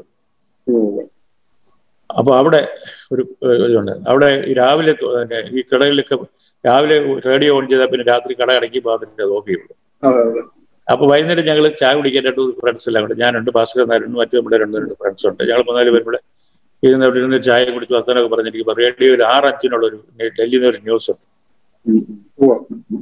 ആ ദി മലയാളം അത് അനൗൺസ് ആദ്യത്തെ പിന്നെ പീസ് ഓഫ് ന്യൂസാ വരുന്നത്. The Malayalam film. Swayamvaram means national award for the best film ഞങ്ങൾക്ക് സന്തോഷത്തിനെ കണ്ട് കാരണം ഞങ്ങൾ ഞെട്ടി. അതെങ്ങനെ ഞങ്ങൾക്ക് ഈ അവിടെ എന്തോ തെറ്റ് പറ്റിയിട്ടുണ്ട് ആളുടെ റേഡിയോക്ക് എന്തോ തെറ്റ് പറ്റിയിട്ടുണ്ട് തെറ്റായ വാർത്ത എങ്ങനെ അവരിങ്ങനെ അനൗൺസ് ചെയ്യുന്നത്? എന്ന് നമുക്ക് ഒന്നും ഒരു രീതിയിൽ മനസ്സിലാവുന്നില്ല. കാരണം ഞങ്ങളിത് ഡൽഹിക്ക് അപ്പീൽ അയച്ചിട്ട് ഒരു മറുപടി പോലും അയച്ചിട്ടില്ല. പിന്നെ അവർക്ക് അവാർഡ് തരണമെങ്കിൽ അവാർഡ് തരണമെങ്കിൽ പ്രിന്റ് കാണണ്ടേ? പടം കാണണ്ടേ? ഞങ്ങളോട് പ്രിന്റ് ചോദിച്ചിട്ടില്ല. ആ പിന്നെ എങ്ങനെ? ഉവ്വ. പിന്നെ പിൽക്കാലത്താണ് മനസ്സിലായത് ഈ പടം ഇന്ത്യയുടെ ഒഫീഷ്യൽ എൻട്രി ആയിട്ട് മോസ്കോ ഫെസ്റ്റിവലിൽ അയച്ചിരുന്നു. മോസ്കോയിൽ. നോമിനേഷൻ. അതിൽ മോസ്കോ ഫെസ്റ്റിവലിൽ ഞാനും അതും കൂടെ പോയിരുന്നു അന്ന് ആ സമയത്ത്. ഇന്ത്യയിൽ ഒരു ഡെലിഗേഷൻ തന്നെ പോയിരുന്നു. പിന്നെ നമ്മുടെ നോമിനേഷൻ ഒന്നുമില്ല. ഇന്ത്യ ഇന്ത്യയുടെ ഒഫീഷ്യൽ എൻട്രി ആയിട്ട് അയച്ചു. ഇവിടെ നിന്ന് അയച്ചെന്നുള്ളേ ഉള്ളൂ. നോമിനേഷൻ അല്ല. അവിടെ കിട്ടിയില്ല. അത് ഞാൻ പറഞ്ഞ അവിടുന്ന് പ്രൈസിൽ ഒരു അവാർഡും അവിടെ ഇല്ലല്ല. ഒരു അവാർഡും ഇല്ല. ഒഫീഷ്യലായിട്ട് ഒഫീഷ്യൽ കോമ്പറ്റീഷൻ കാണിച്ചു ഒഫീഷ്യൽ വെർഷൻ അനുസരിച്ച് പടം വളരെ കണ്ടിട്ട് പലരും വളരെ ഇഷ്ടപ്പെട്ടവരുണ്ടായിരുന്നു. ഒഫീഷ്യൽ അവരുടെ ഒരു ഒഫീഷ്യൽ ബുള്ളറ്റിൻ ഇറങ്ങുന്ന ദിവസവും. അതിനകത്ത് പടത്തിനെ വിമർശിച്ചിരുന്നു. അതായത് ഈ കഥാനായകൻ പിന്നെ പിന്നെ പൊളിറ്റിക്കൽ ജാഥകളൊക്കെ പോകുമ്പോൾ നോക്കി നിൽക്കുന്നതല്ലാതെ അതിൽ ചേരുന്നില്ല അതായിരുന്നു എതിരായിട്ടുള്ള ക്രിറ്റിസിസം. അപ്പൊ ശരിക്കും നമ്മുടെ പടം ഈ ജാഥയിൽ ചേരാത്ത മിഡിൽ ക്ലാസിന്റെ മോറൽ ക്രൈസിസിനെ പറ്റിയാണ് പടം. പടം അതിനെ ഈ ചേരാത്ത മിഡിൽ ക്ലാസ്സുകാരനെ പറ്റിയാണ് പടം. അയാളെ ജാതി അയാളുടെ ക്ലാസ് അല്ല അതൊന്നാമത് ജാഥയിൽ പോയി തൊഴിലില്ലായ്മയ്ക്ക് അപ്പൊ പക്ഷെ അതേസമയം മറ്റ് മറ്റേതെല്ലാം ബ്ലാക്ക് ആൻഡ് വൈറ്റാ. ഈ നാഷണൽ അവാർഡിലെ ജൂറി ആരൊക്കെയായിരുന്നു? നാഷണൽ അവാർഡ് ജൂറി എന്ന് പറയുന്നത് ഏഹ്, എനിക്ക് മെമ്പേഴ്സിനെ എനിക്ക് അറിയാൻ വയ്യ. ചെയർമാനായിട്ട് വന്ന ആൾ പക്ഷെ വലിയൊരാളായിരുന്നു. അതായത് പിന്നെ സെമിനാർ എന്നൊരു പത്രം ഉണ്ടായിരുന്നില്ലേ? ഒരു ഒരു സെമിനാർ. ഇടതുപക്ഷ ഇടതുപക്ഷ പത്രമാണ്. അല്ല സെമിനാർ. അതെ. സി പി ഐ തോന്നുന്നു. അക്കാഡമിക് സ്വഭാവമുള്ള പത്രമാണ് വളരെ നല്ല ഹൈ ഇന്റലക്ച്വൽ അതെ ഇതാണ്. അതെ നമ്മുടെ റോമിള താപ്പറുടെ സഹോദരനാണ്. അങ്ങയുടെ പേരാ ഞാൻ റോയ് മറ്റേ കസിനാണ് പ്രണയ റോയ് അദ്ദേഹം കസിനാണ് ആ. അങ്ങനെ എന്താ ബന്ധം? അദ്ദേഹം അദ്ദേഹം intellectual Ramesh Thapar. Right. Ramesh Thapar Ramesh Thapar. High intellectual ആണ്. നിങ്ങൾക്ക് ഇന്ദിരാഗാന്ധിയുടെ അടുത്തൊക്കെ വളരെ ഹൈ ഇൻഫ്ലുവൻസ് ഉണ്ടായിരുന്നു. അങ്ങനെ. Very high intellectual. ഇദ്ദേഹം സിനിമ കണ്ടിട്ട് പിന്നെ എനിക്കറിയാം. മറ്റേ ആരെയും ഉണ്ടായിരുന്നു അറിഞ്ഞൂടാ. സിനിമ കണ്ടിട്ട് അങ്ങേർക്ക് ഭയങ്കരമായിട്ട് അത് ഇഷ്ടപ്പെട്ടു. ഇഷ്ടപ്പെട്ടു എന്ന് മാത്രമല്ല he was very angry that this film was not proposed central committee അപ്പൊ അവരുടെ റിപ്പോർട്ടിൽ വളരെ ആംഗ്ര റിയലി ആംഗ്രി ആയിട്ട് അദ്ദേഹത്തിന്റെ ഒരു റിപ്പോർട്ടാണ്. Disband all regional committees they they are they, they are sending films which have no chance of being uh, considered for an award. And then the meritorious films are uh, barred from there at that time. അതുകൊണ്ട് പിന്നീട് അടുത്ത നാൽപ്പത് കൊല്ലത്തേക്ക് regional committees ഉണ്ടായിരുന്നില്ല. അവർ പിന്നെയും regional ഉണ്ടാക്കിയിട്ടുണ്ട് ഏതെങ്കിലും കൊള്ളാവുന്ന പടം ഉണ്ടെങ്കിൽ അതിൽ പൊക്കോളും. This is what they are doing because there are too many films അതവരുടെ പ്രശ്നം. അത് ഒഴിവാക്കാനായിട്ടാണ് ഈ റീജിയണൽ കമ്മിറ്റി ഉണ്ടാക്കുന്നത്. റീജിയണൽ കമ്മിറ്റിയിൽ റീജിയണൽ പൊളിറ്റിക്സാണ് വരുന്നത്. വിവരം കെട്ടവനൊക്കെ അതിനകത്ത് കയറി ഇരുന്നിട്ട് ഭേദപ്പെട്ട പടമല്ലോടെ അത് തട്ടിയിരിക്കും അവർ. That's unfortunate part.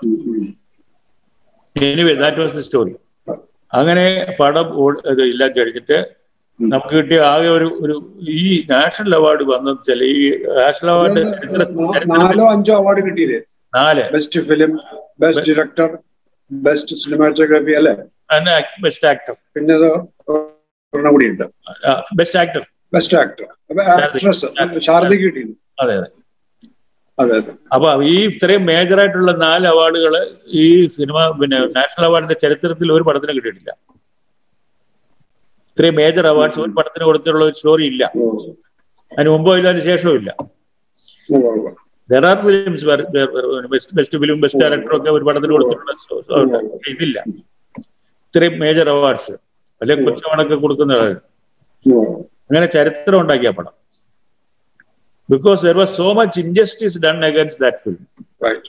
At every stage And uh, and uh, uh, justice was done to that film, Ah. uh, maybe because uh, there was this injustice yes. at the and that's why he, at the first stage, you know. They, So maybe history know, was, you know, Ramesh Thapar was so angry. right. So mm. with it, the whole thing. Disbanded. disbanded അതോട് disband ചെയ്യുന്നു അങ്ങയുടെ power അതായിരുന്നു അങ്ങയുടെ recommendation പറഞ്ഞാൽ വളരെ strong recommendation ആണ് ഒരു ചോദ്യം കൂടി ചോദിച്ചിട്ട് uh, അതിൽ ഇത് സെഷൻ നിർത്താൻ തോന്നുന്നു. ഒരു അതെ. സ്ട്രെയിൻ ഉണ്ടാവണ്ട നമുക്ക് അതെ. അതിലൊരു ഒരു നമ്മൾ അധ്യാപകൻ ശിഷ്യ എന്നൊരു കാര്യം പറയണ്ടേ ഇങ്ങനെ ഈ സെമിനാർ പരാമർശപ്പെട്ടത് എനിക്ക് ഭയങ്കര സന്തോഷം ഉണ്ടായ ഒരു ഓർമ്മയുണ്ട്. എന്റെ ഒരു വിദ്യാർത്ഥി വിക്ടോറിയ കോളേജിൽ ഒന്നര മാസം മാത്രമേ ക്ലാസ്സിൽ ഇരുന്നിട്ടുള്ളൂ. ഇരുന്നുള്ളൂ അതുകൊണ്ട് തന്നെ ഞാൻ ഇപ്പോൾ ഉറക്കാറില്ല. ഞങ്ങളുടെ ഫിലിം സൊസൈറ്റിയുടെ കമ്മിറ്റിയിൽ പിന്നെ വരികയുണ്ടായി.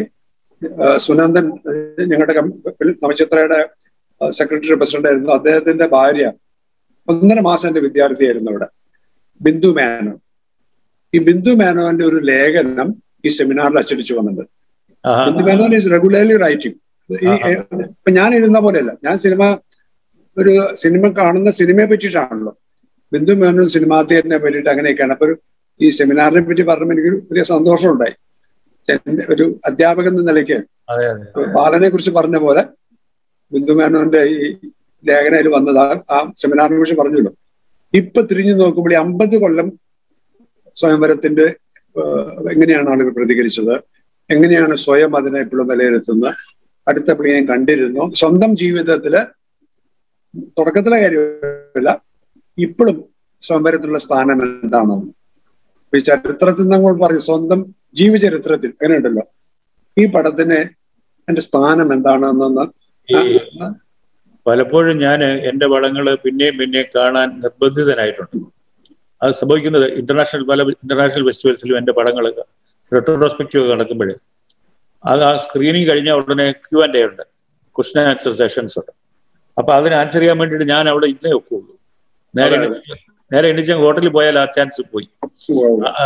ഫെസ്റ്റിവലിന് വരുന്നവർക്ക് ഇത് വളരെ പ്രധാനമായിട്ട് അവർ കരുതുന്നവരാണ്. നയന്റി പെർസെന്റ് പടം കഴിഞ്ഞിട്ട് അവർ നിന്നിട്ട് ചോദ്യങ്ങൾ ഇപ്പോഴും ആ പടം റിട്രോസ്പെക്റ്റീവ് കളിക്കുന്നുണ്ടാവില്ല അല്ലേ? ഉണ്ട് ഉണ്ട്. അത്. ഞാൻ പറയാണ് അത് അത് കഴിഞ്ഞ് എയ്റ്റി ഫൈവിൽ അതായത് പത്ത് അത് കഴിഞ്ഞൊരു എയ്റ്റി ഫൈവ് പതിമൂന്ന് കൊല്ലം കഴിഞ്ഞിട്ട് ഇറങ്ങിയിട്ട് പതിമൂന്ന് കൊല്ലം ആണോ? നയന്റി ഫൈവ് ആണോ സിനിമയുടെ നൂറാം വർഷം. അതെ. പഴയ ആൾക്കാരുടെ സങ്കല്പത്തിൽ റിട്രോസ്പെക്റ്റീവ് കൃത്യമായിട്ട് കൊല്ലം എനിക്ക് ഇപ്പൊ കൃത്യമായിട്ട് ഓർമ്മയില്ല. റിട്രോസ്പെക്റ്റീവ് എവിടെയായിരുന്നു? റെട്രോസ്പെക്റ്റീവ് സിനിമാത്തേക്ക് പാരീസിലെ? പാരീസിൽ. നമ്മുടെ ഹെൻറി ഹെൻറി ലാംഗ്ലോയുടെ ലാംഗ്ലോയുടെ. അല്ലെ? അതെ അദ്ദേഹം സ്ഥാപിച്ച ആ സിനിമത്തേക്കിൽ എന്റെ റിട്രോസ്പെക്റ്റീവ് നടക്കുമ്പോ ഇവരോട് ബന്ധപ്പെട്ടുള്ള കഥ പറയാൻ വേണ്ടിയാ പറഞ്ഞതാണ്. അപ്പോ ഞാൻ അത് ഇൻട്രൊഡ്യൂസ് ചെയ്തോണ്ട് പടം ഇൻട്രൊഡ്യൂസ് ചെയ്തോണ്ട്. സംസാരിക്കുമ്പോൾ ഞാൻ പറഞ്ഞത് ഞാൻ എന്റെ ആദ്യത്തെ പടമാണ്. അതിനകത്ത് തെറ്റുകുറ്റങ്ങളൊക്കെ കാണും. അതൊക്കെ കരുതിക്കൊണ്ട് വേണം നിങ്ങൾ ഈ പടം കാണാനായിട്ട്. എന്ന് പറഞ്ഞ് വളരെ ഹമ്പിൾ ആയിട്ടൊരു ഇൻട്രൊഡക്ഷൻ ആണ് പറഞ്ഞത്. അന്ന് ഹെൻറി ലാംഗ്ലോ ഉണ്ട് അവിടെ? ഇല്ല അങ്ങനെ മരിച്ചു പുള്ളി എനിക്ക് അറിഞ്ഞൂടാ. ഹോണ്ടഡ് സ്ക്രീൻ സ്ത്രീ. ഹോണ്ടഡ് സ്ക്രീൻ എക്സ്പ്രഷൻ സിനിമയെ കുറിച്ച്. ഒരു ആരോ ഒരു സ്ത്രീ ഉണ്ടായിരുന്നു. ജർമ്മൻകാരിയാണ് എന്റെ ഒരു പിന്നെ പിൽക്കാലത്ത് എന്റെ ഒരു നല്ലൊരു ഫ്രണ്ടായി മാറിയ ആളായിരുന്നു അവിടെ പിൽക്കാലത്ത്. അവിടുത്തെ അപ്പോഴത്തെ ലാംഗ്ലോയ്ക്ക് ഡയറക്ടർ. ലാഗ്ലോയ്ക്ക് പകരം വന്ന ആൾ. എനിക്ക് നേരിട്ട് അറിയാവുന്ന ഒരാൾ. പിൽക്കാലത്ത് എനിക്ക് നമ്മൾ നടക്കുന്ന സമയത്തൊക്കെയാണ് പരിചയപ്പെടുന്നത്. അവരെയൊക്കെ. അവരൊക്കെ റിട്ടയർ ചെയ്ത് കഴിഞ്ഞു. ഒരുപാട് കാലം കഴിഞ്ഞില്ലേ. അപ്പൊ അവിടെ ഈ പടം ഞാൻ ഇൻട്രൊഡക്ഷൻ കൊടുത്തിട്ടാണ് കണ്ടത് കണ്ടത്. പിറ്റേ ദിവസം ഈ ഡയറക്ടർ എന്നെ വിളിച്ചു. എന്നെ വിളിച്ചു. വിളിച്ചു പറഞ്ഞു all the young people who saw the film they were calling and they were the very deeply deeply affected by the film. അവരെല്ലാം എല്ലാ ഏ? യുവാക്കളൊക്കെ കണ്ടിട്ട് എന്നെ വിളിച്ചിരുന്നു എന്നാ പറഞ്ഞത്. വലിയ സന്തോഷപ്പെട്ടാ വിളിച്ചത്. ഇത്രയും ചെറുപ്പക്കാരെല്ലാം എന്നെ വിളിച്ചു. Adoor was talking fact is that they were so so occupied by this film, so so so impressed by the film. എന്നിങ്ങനെ വിളിച്ചു പറഞ്ഞു.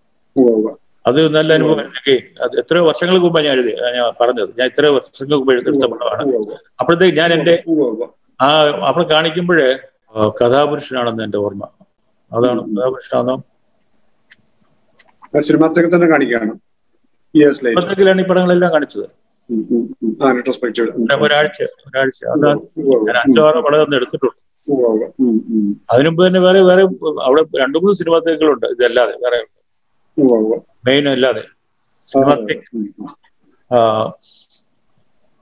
അവിടെയൊക്കെ റെട്രോസ്പെക്റ്റീവ് ഞാൻ നാല് ഞാൻ വെറും നാല് പടം തീർന്നപ്പോൾ തന്നെ എനിക്ക് റെട്രോസ്പെക്റ്റീവ് ഉണ്ടായിരുന്നു. പിന്നെ ഇവിടെ പിന്നെ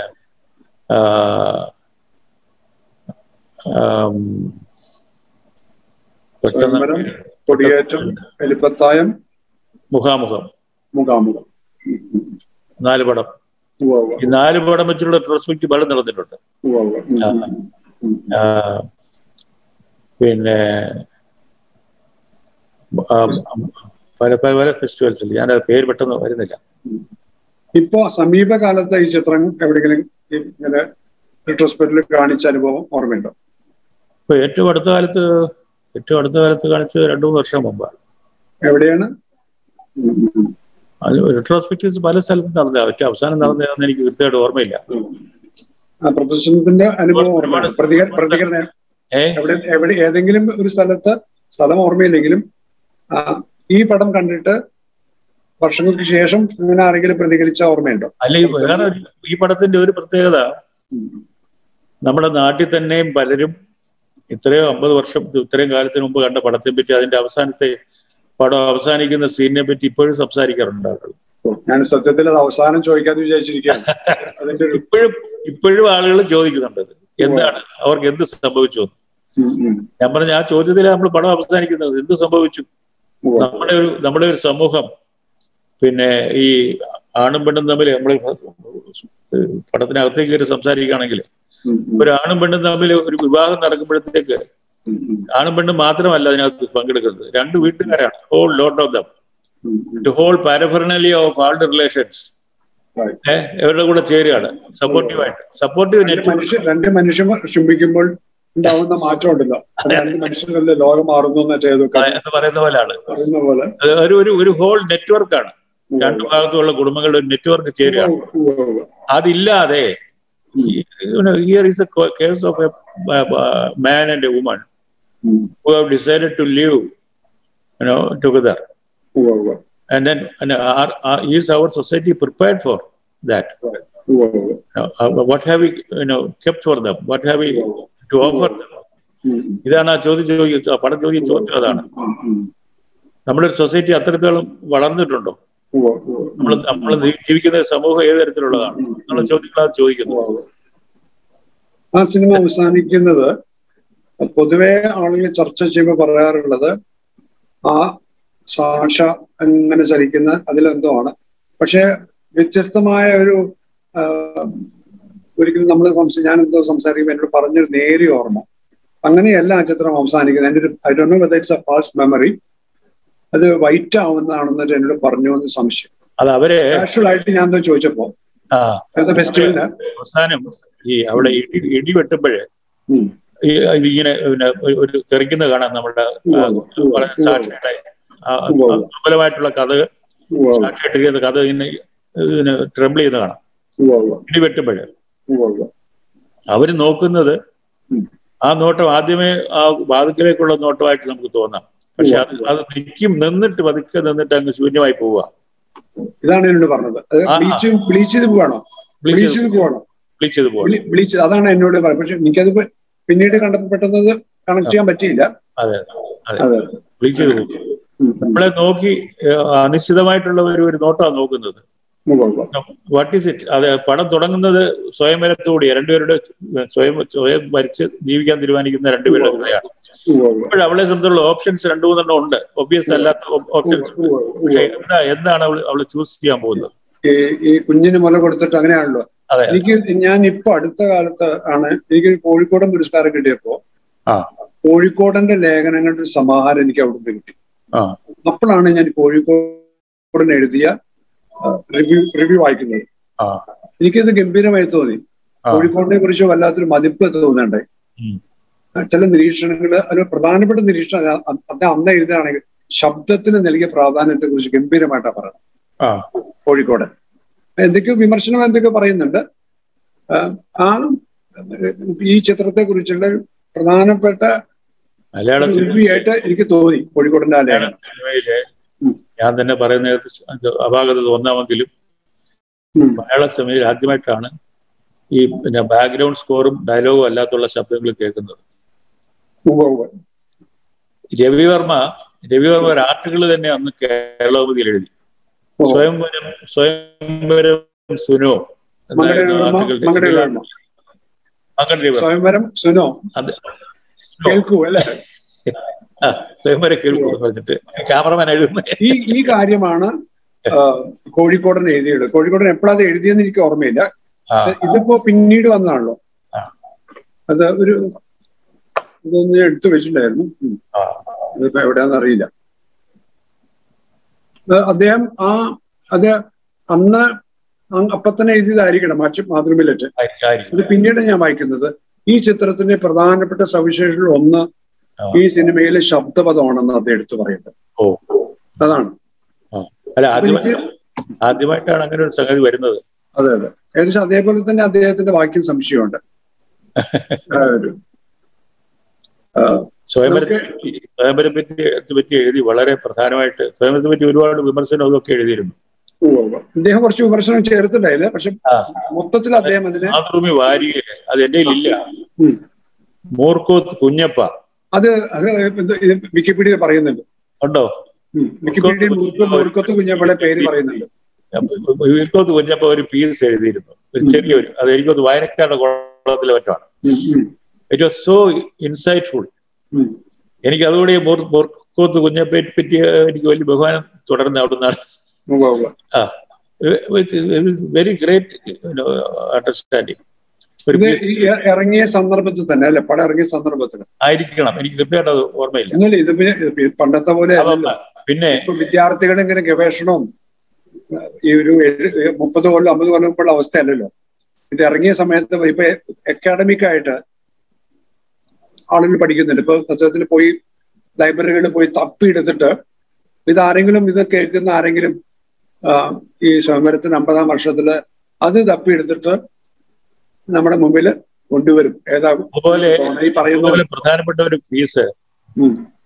എഴുതിയത് നാദിർഷ എന്ന് പറയുന്ന T M P T M P Nedungadi. T M P Nedungadi. അതിന്റെ ടൈറ്റിൽ എന്തായിരുന്നു അറിയോ സ്വയംവരം കഴിഞ്ഞു. ഇനിയോ? ഓ. എന്നായിരുന്നു അതിന്റെ ടൈറ്റിൽ. അദ്ദേഹമാണ് ഈ സബ് ടൈറ്റിൽ പതിവടി ചെയ്യാറ് അല്ലെ? അല്ല എന്റെ രണ്ട് പടങ്ങൾക്ക്. രണ്ടു പടയുള്ളൂ ഞാൻ അദ്ദേഹത്തെ നല്ല പരിചയമുണ്ട്. അയ്യോ. അദ്ദേഹത്തിന്റെ വീട്ടിൽ നിന്നാണ് ഗ്രേറ്റ് മാൻ ഒരു നാടക ബ്രിട്ടീഷ് ഒരു മാർക്സിസ്റ്റ് ആയിട്ടുള്ളൊരു തിയേറ്റർ ക്രിറ്റിക് ഉണ്ട്. പേര് പറഞ്ഞു ആ. ബുക്ക് അദ്ദേഹത്തിന്റെ മേടിച്ചത്. നോക്കിയിട്ടില്ലല്ല very famous maybe the most important Marxist theatre critic from England അങ്ങോട്ടൊരു അങ്ങോരുടെ ഒരു ബുക്ക് ഓരോ നാടകവും കണ്ടിട്ട് അദ്ദേഹം എഴുതിയതാണ്. ആ. ബുക്ക് ഞാൻ അദ്ദേഹത്തിന് നമ്മുടെ വിലയപ്പാറിലെ തോന്നുന്നത് ഹനുമന്ത് റോഡോ? ഹനുമാൻ റോഡോ? അവിടെ അദ്ദേഹം താമസിച്ചിരുന്നത് അവിടുന്ന് ആ അദ്ദേഹത്തിന് കിട്ടിയ ബുക്ക് പുസ്തകം ഞാൻ വായിച്ചിട്ടാണ്. നല്ലൊരു സ്കോളർ ആയിരുന്നു അതെ അതെ. ഇംഗ്ലീഷ് ഞങ്ങളുടെ ഇവിടെ നമചിത്ര ഫിലിം സ്റ്റേറ്റിൽ ഒരിക്കലും വാർഷികത്തിന് അദ്ദേഹമാണ്. ഇംഗ്ലീഷും മലയാളവും ഒക്കെ ഏതായാലും അതെ അതെ. റിയൽ സ്കോളർ ആയിരുന്നു മലയാള സിനിമയുടെ സ്വയംവരം കഴിഞ്ഞു. എന്നാണ് മലയാള സിനിമയുടെ സ്വയംവരം കഴിഞ്ഞു. ഇനിയോ എന്നാണ് ഉള്ളിൽ ഉള്ളിൽ ഒരു എന്തെങ്കിലും നിരീക്ഷ ശബ്ദത്തെ പറ്റിയിട്ടോ അഭിനയത്തെ പറ്റിയോ? അല്ല അതിന് താഴെയുള്ള ഡീറ്റെയിൽസ് ഒക്കെ അങ്ങനെ നല്ല നല്ലൊരു ആർട്ടിക്കിളാണ് അത് ആ ആ പുസ്തകം ചിലപ്പോൾ എന്റെ അടുത്തുണ്ട്. അദ്ദേഹത്തിന്റെ ബുക്ക് ഇറക്കണ്ടേ? കറന്റ് ബുക്സ് കറന്റ് ബുക്സ് കണ്ടേക്കും. കെ വി അഷ്ടമൂർത്തിയാണ് അതിനൊരു കാരണക്കാരൻ. ഞാനും കുറച്ചുണ്ടെന്നാണ് തോന്നുന്നത്. ഇപ്പോ നമുക്കിത് ഈ അവസാനിക്കുന്നതിന് ഒരു ചെറിയ അഭ്യർത്ഥന. നമ്മൾ ഇത്ര സംസാരിച്ചു. അമ്പത് വർഷം ഇങ്ങനെ എത്തുകയാണ്. ഒന്നോ രണ്ടോ വാക്യത്തിൽ ഈ അമ്പത് കൊല്ലത്തെ സ്വയംവരത്തിന്റെ അനുഭവം മുൻനിർത്തിയിട്ട് ഇപ്പൊ ഒരു ഒന്നോ രണ്ടോ വാക്യത്തിൽ ഇന്ന് ഒരു ഒരു- ഒരു പ്രസ്താവന പോലെ ഒരു സ്റ്റേറ്റ്മെന്റ് പോലെ ഒരു ഡയലോഗ് അല്ലാണ്ട് ഉണ്ടല്ലോ. ഒന്ന് വല്ലതും പറയാൻ പറ്റുകയാണെങ്കിൽ നല്ലത്. സ്വയംവരം എന്ന് പറയുന്നത് എന്റെയും കൂടെ എന്റെയും കൂടെ ഭാവി പ്രവർത്തനങ്ങൾ എങ്ങനെ ആയിരിക്കും എന്നുള്ളതിന്റെ ഒരു ഒരു ഒരു ആ ശരിക്കും പറഞ്ഞാൽ. ഈ കമിതാക്കളുടെ സ്വയംവരം മാത്രമല്ല ഞാൻ സിനിമയെ വരിക്കുന്നതിനെ പറ്റിയും കൂടെ ഉള്ളതാണ് ആ സിനിമ എന്ന് പറയുന്നത്. ഇൻ ഫ്യൂച്ചർ ഭാവിയിൽ ഞാൻ എന്താണ് ചെയ്യാൻ പോകുന്നത് എന്നുള്ളതിന്റെ ഒരു ഒരു എന്താ പറയുന്നത് ഒരു ഒരു സ്കെച്ച് ബുക്കാണ് ശരിക്കും പറഞ്ഞാൽ സ്വയംവരം. പെട്ടെന്നൊരു വിശദാംശം പടന്നു വരിക. ഞാൻ ഇതിൽ പെടുത്തേണ്ടതല്ല. ഞാൻ ഇന്നലെ ആ പടത്തിൽ നിന്ന് പരിചയപ്പെടുത്താണ്ടായി അപ്പൊ അതിൽ അതിലൊരു രംഗം എനിക്ക് ഓർമ്മയുണ്ട്. ഈ വിശ്വം മധുവിന്റെ അവതരിപ്പിക്കുന്ന കഥാ കഥാപാത്രം എന്താണ് വീട്ടിൽ അടുക്കള നടക്കുന്നതെന്ന് അറിയില്ല. ഓർമ്മയെന്നുള്ളതാണ്. അപ്പൊ അകത്ത് പോയിട്ട് കലം നോക്കുന്നുണ്ട്. അപ്പൊ അതിൽ അരി കുറച്ച് അരിയിട്ടുണ്ട് സംശയം. അപ്പൊ ഇതെടുത്തിട്ട് ഒരു പിടി കുറച്ച് പിടിയില്ല. കുറച്ച് അരി എടുക്കുന്നു അതോ വെറും ശൂന്യമാണ്. അപ്പൊ അത് വീഴുമ്പോ വീഴുമ്പോ ശബ്ദമുണ്ടോ എന്ന് ഞാൻ ആലോചിക്കുകയാണ്. രണ്ടു മൂന്ന് മണിയൊക്കെ ഉണ്ടോ? അങ്ങനെ ഒരു രംഗം ഞാൻ ഓർക്കുക. അങ്ങനെ ഉണ്ടോ? അവിടെ ശബ്ദമുണ്ടോ? ശബ്ദമുണ്ടോ എന്നുള്ളത്. അത് ശൂന്യമായിരുന്നു. ശൂന്യമായിരുന്നു. അത് കഴിഞ്ഞ് വേറെ ഏതോ പാത്രം എടുത്തപ്പോ അതിനകത്തുനിന്ന് എന്തോ ഇടകിടാത്ത ശബ്ദം കേൾക്കുന്നുണ്ട്. ചെറിയ ശബ്ദങ്ങൾ കേൾക്കുന്നുണ്ട്. അത് ഇയാൾക്ക് ഇയാളുടെ കയ്യിൽ നിന്ന് പ്രൊവിഷൻസ് എല്ലാം വീട്ടിൽ തീർന്നിരിക്കുകയാണ്. പരിപ്പ് വാങ്ങിച്ചുകൊണ്ട് വരാനായിട്ട് ഒരു ലിസ്റ്റ് എഴുതി അവൾ കൊടുത്തിരുന്നു ഭാര്യ. അയാൾ പക്ഷെ പിന്നെ ട്യൂട്ടോറിയൽ പ്രിൻസിപ്പൽ ഇയാളെ ശമ്പളം കൊടുക്കുന്നതിന് പകരം അയാളെ കൊണ്ട് കൂട്ടിക്കൊണ്ട് പോയിട്ട് പിന്നെ ബാറിലാണ് പോയിരുന്നത്. അതെ അതെ. ഇയാളെ കൊണ്ട് മദ്യപിപ്പിക്കുകയാണ് അവർ. പ്രിൻസിപ്പൽ എന്നിട്ട് അയാളുടെ സ്വന്തം ആത്മകഥയൊക്കെ പറയും. അത് കഴിഞ്ഞ് പ്രാപിച്ച് ഉവ്വ് ശരിയാണ്. ഇയാൾ മദ്യപിച്ചുകൊണ്ട് ശരിക്കും പറഞ്ഞാൽ ഒരു ആത്മനിന്ദയോടുകൂടിയാണ് ശരിക്കും പറഞ്ഞാൽ വീട്ടിലോട്ട് ചെല്ലുന്നത്. ചെല്ലുമ്പം വന്നിട്ട് നീ ഇതൊരു ആഹാരം കഴിച്ചില്ലേ? ഞാൻ വിളമ്പി തരാം എന്നിട്ട് പോവുകയാണ് അങ്ങോട്ട് ഇരുന്നിട്ട്. എന്നിട്ട് അവിടെ നോക്കുമ്പോൾ ഒന്നുമില്ല. എന്നിട്ട് അപ്പോഴാണ് ഈ തല ഓരോന്നെടുത്ത് നോക്കി തപ്പുന്നത്. അപ്പോഴാണ് താൻ ചെയ്ത തെറ്റിനെ പറ്റി അയാൾക്ക്. അപ്പൊ അവരുടെ ഒരു ഒരു വലിയ സങ്കടം ഉണ്ടാക്കുന്ന രംഗമാണ് അത്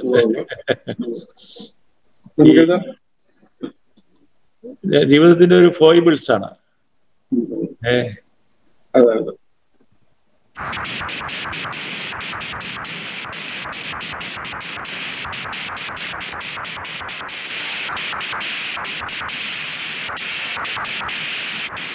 മീഡിയ മാധ്യമയ്ക്ക് സബ്സ്ക്രൈബ് ചെയ്യണേ. നിങ്ങളുടെ അഭിപ്രായങ്ങൾ കമന്റ് ചെയ്യൂ. താങ്ക്